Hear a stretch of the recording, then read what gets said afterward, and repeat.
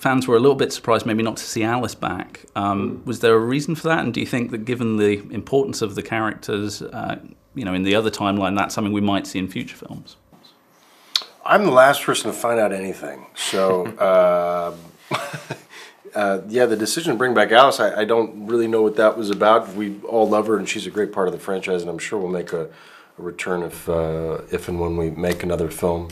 Uh, I think the excitement with Sofia playing Jaylah is introducing a new character and a new species or what have you, and um, um, and particularly, um, I think what Sofia brought to it that was very important. Again, this this movie is a lot about family and friendships and federation and unity, and um, the fear of inviting someone new into your collective space and uh, Sofia uh, brought a real sensitivity and a real physicality to the part that um, uh, I have no idea what that means in, uh, comparison to what I just first said, but I know that that's an important part of it. Zach?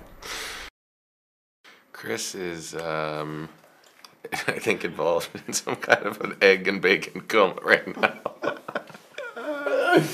Uh, we miss Alice. I love Alice. You know, we're we still stay in touch, and uh, and we were sorry to see her not come back for this one, but um, but you know, I feel like um, yeah, it's all about energy and new energy, and we're thrilled to have Sofia. She brings such a um, such a, a sensitivity, a vulnerability, and yet a power and a strength to this this character, and I think audiences will really respond to her and want to see more of her for sure.